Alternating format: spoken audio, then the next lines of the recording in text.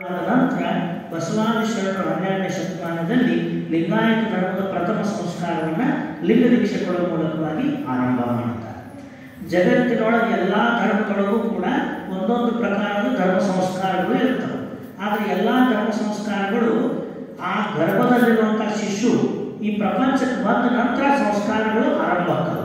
ಆದರೆ ನಮ್ಮ ಲಿಂಗಾಯತ ಧರ್ಮದ ವಿಶೇಷತೆ ಏನಂದ್ರೆ ಆ ಶಿಶುವಿನ ಅಂಗ ಇನ್ನೂ ಗೋಚರ ಆಗಿಲ್ಲ. ಮಗು ಇನ್ನೂ ಹೊರಗೆ ಬಂದಿಲ್ಲ. ಅದು ಗರ್ಭದಲ್ಲಿದ್ದಾಗ ಅದಕ್ಕೆ ಲಿಂಗ ದೀಕ್ಷೆ ಕೊಡುವಂಥ ಸಂಸ್ಕಾರ. ಯಾಕೆ ಮಾಡ್ಯಾರ ಅಂದ್ರೆ, ಗರ್ಭದೊಳಗಿರುವಾಗ ನೀವು ತಾಯಿಗಳು ತಾಯಿಯಂದು ಗರ್ಭಿಣಿಯರಾಗಿದ್ದಾಗ ಏನು ಭಾವಿಸ್ತೀರಿ, ಏನು ವಿಚಾರ ಮಾಡ್ತೀರಿ, ಅದೆಲ್ಲವನ್ನು ಕೂಡ ಯಾರು ಗ್ರಹಿಸ್ತಿರ್ತಾರಂದ್ರೆ ನಿಮ್ಮ ಗರ್ಭದೊಳಗಿರ್ತಕ್ಕಂಥ ಶಿಶು ಅದರ ಅನುಭವವನ್ನು ಪಡ್ಕೊಂತಿರ್ತೈತಿ. ಅದನ್ನ ಹೆಂಗೆ ಹೇಳ್ತಾರೆ ಚನ್ನಬಸವಣ್ಣವರು ಅಂದ್ರೆ, ತಾಯಿಗಾದ ಸುಖ ದುಃಖಗಳು ಬಸಿರ ಶಿಶುವಿಗೆ ನೋಡಲ್ಲ ನಾವೇನು ಸುಖ ದುಃಖ ಅನುಭವಿಸ್ತೀವಿ ಅದರ ಎಲ್ಲ ಪರಿಣಾಮಗಳು ಎಲ್ಲಿ ಆಗ್ತಿರ್ತಾವ ಅಂದ್ರೆ ಗರ್ಭದೊಳಗಿರುವಂಥ ಶಿಶುವಿನ ಮೇಲೆ ಆಗ್ತಿರ್ತಾವ. ನೀವೇನು ಪ್ರಸಾದ ತಗೊಂತೀರಿ, ಅದೇ ಪ್ರಸಾದ ಶಿಶುವಿಗೆ ಹೋಗ್ತೈತಿ ಹೌದಲ್ಲ?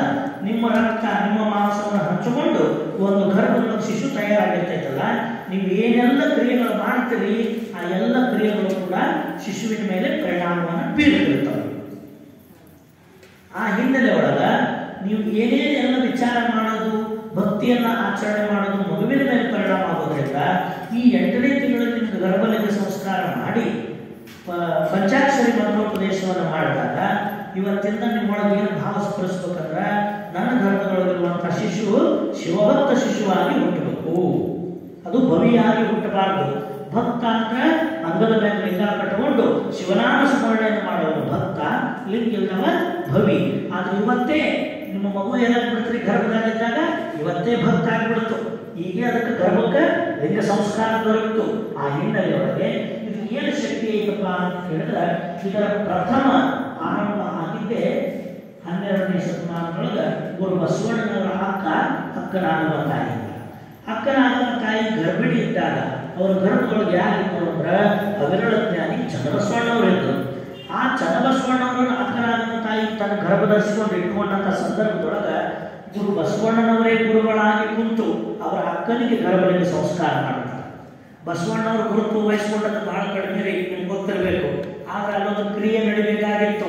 ಚನ್ನಬಸವಣ್ಣನಂತ ಅಗಳ ಧ್ಯಾನಿ ಹುಟ್ಟಬೇಕಾಗಿತ್ತು. ಆ ಹಿನ್ನೆಲೆ ಒಳಗ ಬಸವಣ್ಣನವರ ಎಲ್ಲ ಸಂಕಲ್ಪಗಳ ಮುಂದುವರಿಸ್ತಕ್ಕಂಥ ಕಾರ್ಯವನ್ನು ಚನ್ನಬಸವಣ್ಣವರು ಮಾಡಬೇಕಾಗಿತ್ತು. ಅದಕ್ಕಾಗಿ ಗುರು ಬಸವಣ್ಣನವರೇ ಗುರುತ್ವ ವಹಿಸಿಕೊಂಡು ತಮ್ಮ ಅಕ್ಕ ಅಕ್ಕನಾಗನ ತಾಯಿಗೆ ಗರ್ಭಲಿಂಗ ಸಂಸ್ಕಾರ ಮತ್ತು ಈ ಧರ್ಮದ ಶಟಸ್ಥಲೋಪದೇಶವನ್ನ ಆ ತಾಯಿ ಮಾಡ್ತಾರೆ ಯಾವಾಗ ಅವರು ಎಂಟನೇ ತಿಂಗಳ ಗರ್ಭದಲ್ಲಿರುವಂಥ ಶಿಶುವಿಗೆ ಆ ಒಂದು ಉಪದೇಶವನ್ನು ಮಾಡ್ತಾರೋ ಅದೆಲ್ಲವನ್ನು ಕೂಡ ಗರ್ಭಸ್ಥ ಶಿಶು ಚನ್ನಬಸವಣ್ಣ ಪ್ರತಿಯೊಂದನ್ನು ತನ್ನ ಅಂಗದೊಳಗೆ ಆವಾಗಲೇ ಅನ್ವಯಿಸಿಕೊಂಡ. ಈ ಸಾಮರ್ಥ್ಯ ಎಲ್ಲ ಗರ್ಭಸ್ಥ ಶಿಶುವಿನೊಳಗೂ ಇರ್ತೈತಿ. ಈ ಸಾಮರ್ಥ್ಯ ಯಾವಾಗ ಬರ್ತೈತಂದ್ರೆ ಎಂಟು ತಿಂಗಳು ತುಂಬಿದ ನಂತರ ಬರ್ತೈತಿ. ಅದಕ್ಕಾಗಿ ಗರ್ಭಲಿಂಗ ಧಾರಣ ಎಂಟು ತಿಂಗಳು ಒಳಗೆ ಮಾಡಬಾರ್ದು. ಯಾಕಂದ್ರೆ ಅದನ್ನು ಗ್ರಹಿಸುವ, ಅರಿಯುವ ಸಾಮರ್ಥ್ಯ ಎಂಟು ತಿಂಗಳಾದ್ಮೇಲೆ ಆ ಮಕ್ಕಳಿಗೆ ಬಂದಿರ್ತೈತಿ. ಏನು ಬಂದಿರ್ತೈತಿ ಅಂದ್ರೆ ನೀವು ಏನು ನೋಡ್ತೀರಿ, ಏನು ಭಾವಿಸ್ತೀರಿ ಅದಕ್ಕೊಳಗೆ ಅನುಭವ ಆಗಿರ್ತೈತಿ ಹೇಳಕ್ಕೆ ಬರೋದಿಲ್ಲ ಅದರದ್ದು ಅನುಭವಿಸ್ತಿರ್ತೈತಿ. ಹಂಗೆ ಇವತ್ತು ಗರ್ಭಲಿಂಗ ಧಾರಣ ಮಾಡ್ಕೊಂಡ್ರಲ್ಲ ನಾನು ಇವತ್ತು ಆ ಶೋಭಕ್ತಿಯನ್ನು ಅನ್ವಯಿಸಿಕೊಂಡಿರೋ ಸಂತೃಪ್ತಿ ಯಾರಿಗಾಗಿರ್ತೈತಿ? ಗರ್ಭದೊಳಗಿರುವಂಥ ಮಗುವಿಗೆ ಆಗಿರ್ತೈತಿ ಆ ಹಿನ್ನೆಲೆ ಈಗ ಕೊಟ್ಟಂತ ಉಪದೇಶ, ಇಷ್ಟಲಿಂಗ ಧಾರಣೆ ಮಾಡಿದ್ದು, ಇದೆಲ್ಲವೂ ಯಾರ ಮೇಲೆ ಪರಿಣಾಮ ಆಗಿರ್ತೈತಿ ಗರ್ಭದೊಳಗಿರುವಂಥ ಮಗುವಿನ ಮೇಲೆ ಪರಿಣಾಮ ಆಗ್ತೈತಿ ಇದನ್ನು ಹನ್ನೆರಡನೇ ಶತಮಾನ ಶರಣರ ಚನ್ನಬಸವಣ್ಣವರು ಉದಾಹರಣೆ ತಗೊಂಡು ನಾವೆಲ್ಲ ನೋಡಿದ್ವಿ ಈಗ. ನೋಡಿದ್ವಲ್ಲ? ಇದನ್ನು ಆಧುನಿಕ ಕಾಲದೊಳಗೂ ಸಹಿತ ಒಂದು ಪ್ರಯೋಗ ಮಾಡಿದ್ರು. ಅಮೆರಿಕದೊಳಗೆ ಒಂದು ಸ್ಟ್ಯಾನ್ಫೋರ್ಡ್ ಯೂನಿವರ್ಸಿಟಿ ಅಂತ ದೊಡ್ಡ ವಿಶ್ವವಿದ್ಯಾಲಯ ಇದೆ ಅಲ್ಲಿ ಮನೋವಿಜ್ಞಾನ ವಿಭಾಗದವರು ಒಂದು ಪರಿಣಾಮ, ಒಂದು ಪ್ರಯೋಗ ಮಾಡಿದರು. ಹತ್ತು ಜನ, ಎಂಟು ತಿಂಗಳ ಗರ್ಭಿಣಿ ಸ್ತ್ರೀಯರನ್ನ ಸಬ್ಜೆಕ್ಟ್ಸ್ ಅಂತ ಅವರು ಸೆಲೆಕ್ಷನ್ ಮಾಡಿದ್ರು, ಆಯ್ಕೆ ಮಾಡಿದ್ರು. ಆ ಹತ್ತು ಜನರೊಳಗೆ ಐದೈದು ಜನರು ಎರಡು ಭಾಗ ಮಾಡಿದ್ರು. ಐದು ಜನರಿಗೆ ಏನ್ ಮಾಡಿದ್ರು ಅಂದ್ರೆ ಪ್ರತಿ ದಿವಸ ಒಂದು ಮ್ಯೂಸಿಕ್ ಕೇಳಿಸ್ತಿದ್ದೆ ಅವರಿಗೆ. ಏನ್ ಮಾಡ್ತಿದ್ರಿ ಒಂದು ಮ್ಯೂಸಿಕ್ ಕೇಳಿಸ್ತಿದ್ರು. ಇನ್ನು ಐದು ಜನರಿಗೆ ಏನೂ ಕೇಳಿಸ್ತಿದ್ದಿಲ್ಲ ಸುಮ್ಮನೆ ಇಟ್ಟಿದ್ರು ಅವ್ರನ್ನ. ಇವ್ರಿಗೆ ಇವ್ರಿಗೆ ಐದು ಜನರಿಗೆ ಮ್ಯೂಸಿಕ್ ಕೇಳಿಸೋದು ಇನ್ನು ಐದು ಜನರಿಗೆ ಕೇಳಿಸ್ದಂಗೆ ಬಿಡೋದು ಮುಂದೆ ಅವ್ರು ಯಾವಾಗ ಪ್ರಸೂತಿ ಹೆರಿಗೆ ಆದ ನಂತರ ಮಕ್ಕಳು ಹುಟ್ಟಿದ್ವಲ್ಲ, ಹುಟ್ಟಿದ ಮೇಲೆ ಏನು ಮಾಡಿದ್ರು ಅಂದ್ರೆ, ಅವು ಹುಟ್ಟಿದ ಒಂದು ತಿಂಗಳ ಮಗುವಿನ ಮುಂದೆ ಆ ತಾಯಿಗಳಿದ್ದಾಗ, ಗರ್ಭದೊಳಗಿದ್ದಾಗ ಏನು ಮ್ಯೂಸಿಕ್ ಕೇಳಿಸ್ತಿದ್ರಲ್ಲ, ಆ ಮ್ಯೂಸಿಕ್ ಪ್ಲೇ ಮಾಡಿದ್ರು. ಮಾಡಿದ ಕೂಡ ಹತ್ತು ಮಕ್ಕಳು ಒಂದ ಕಡೆ ಹಾಕಿದ್ರು. ಯಾವ ತಾಯಿ ಗರ್ಭದೊಳಗಿದ್ದಾಗ ಮ್ಯೂಸಿಕ್ ತಾಯಿಗಳು ಕೇಳಿದ್ರಲ್ಲ, ಆ ಎಲ್ಲಾ ಮಕ್ಕಳು ಆ ಮ್ಯೂಸಿಕ್ಗೆ ಸ್ಪಂದನೆ ಮಾಡಕ್ ಆರಂಭ ಮಾಡಿದ್ರು. ಕೈಕಾಲು ಬಡಿಯಕತ್ತು ಇವು ಡ್ಯಾನ್ಸ್ ಮಾಡಕತ್ತು.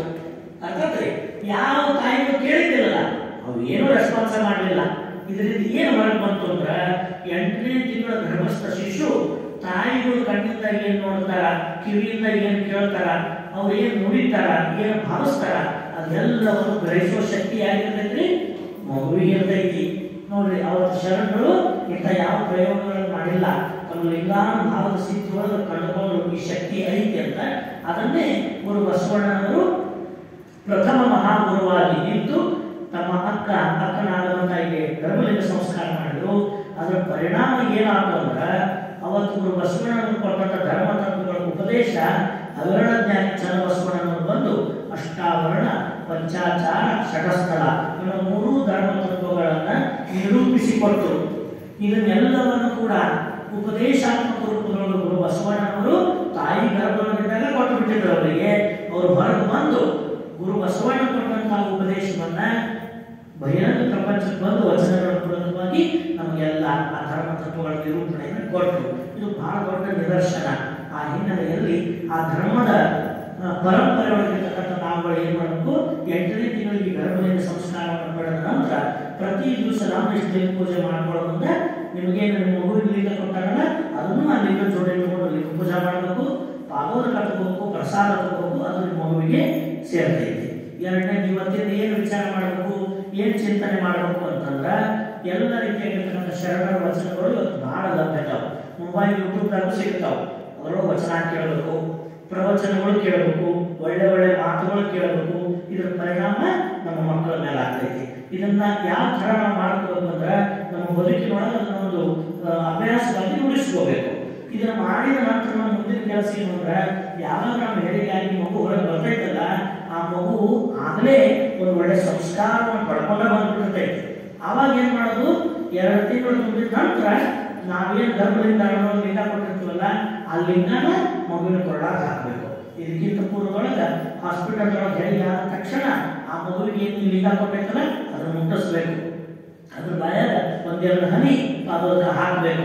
ಹಾಕಿ ಆ ಲಿಂಗ ಮುಟ್ಟಿಸಿ ನಿಮ್ಮನ್ನ ಕಟ್ಕೊಳ್ರಿ, ಮುಂದೆ ಅಮ್ಮಗೂ ಮಗು ಎರಡು ತಿಂಗಳಾದ ನಂತರ ಕೊರಳಾಗ ಲಿಂಗ ಹಾಕಿ, ಪ್ರತಿ ದಿವಸ ನೀವು ಪೂಜೆ ಮಾಡ್ಕೊಳ್ಳೋ ಮುಂದೆ ಆ ಕರ್ಕೊಂಡು ಲಿಂಗ ಪೂಜಾದೊಳಗೆ ಅದಕ್ಕೂ ಒಂದು ಸ್ವಲ್ಪ ನಮಸ್ಕಾರ ಮಾಡಿಸಿ ಪಾದೋತ್ತರ ಬಾಯ ಹಾಕೊಂಡು ಪರಿಪಾಠ ಮಾಡಬೇಕು.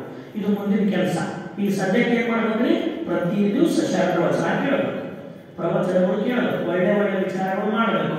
ಯಾವುದೇ ಅಹಿತಕರ ವಿಚಾರಗಳನ್ನ ಮಾಡಬಾರ್ದು. ಟಿವಿ ಒಳಗೆ ಯೂಟ್ಯೂಬ್ ಒಳಗೆ ಭಯಾನಕ ದೃಶ್ಯಗಳನ್ನ ನೋಡಬಾರ್ದು. ಅದರ ಪರಿಣಾಮ ಮಕ್ಕಳ ಆಗೋದ್ರಿಂದ ಒಳ್ಳೆ ವಿಚಾರಗಳನ್ನು ಮಾಡೋದು, ಒಳ್ಳೆ ಸತ್ವಭರಿತ ಆಹಾರವನ್ನು ತಗೊಳ್ಳೋದು ಪಾದೋದಕ ಪ್ರಸಾದವನ್ನು ಗ್ರಹಿಸೋದ್ರಿಂದ ನಮ್ಮ ಮಗು ಒಳ್ಳೆ ಶೋಭಂತ ಶಿಶುವಾಗಿ ಈ ಜಗತ್ತಿಗೆ ಬರೋದ್ರಾಗ ಯಾವುದೇ ಸಂದೇಹ ಇಲ್ಲ ಅನ್ನೋದನ್ನು ತಿಳ್ಕೊಂಡು ಇವತ್ತೇನಿದೆ ಪಡ್ಕೊಂಡ್ರಲ್ಲ, ಇದು ಗುರು ಬಸವಣ್ಣ ಅವರೇ ಕೊಟ್ಟದ್ದು.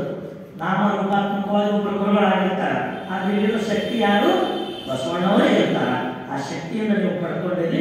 ಆ ಶಕ್ತಿಯನ್ನು ಇನ್ನು ಮುಂದೆ ನಿಮ್ಮೊಳಗೆ ಉಳಿಸಿಕೊಂಡು ಆ ಮಗುವಿನೊಳಗೆ ಬೆಳೆಸಿ ಅದರ ಸರ್ವಾಂಗೀಣವಾದ ವ್ಯಕ್ತಿತ್ವ ವಿಕಾಸಕ್ಕೆ ಇದು ದಾರಿಯನ್ನ ಮಾಡಬೇಕು ಅನ್ನುವಂಥ ಸಂದೇಶನ ಆ ನಮಗೆಲ್ಲ ಕರುಣಿಸಿದ್ದಾರೆ ಯಾರು ವಚನ ಹೇಳ್ತಿದ್ರ ಬರ್ರಿ, ವಚನ ವಿವಾಹ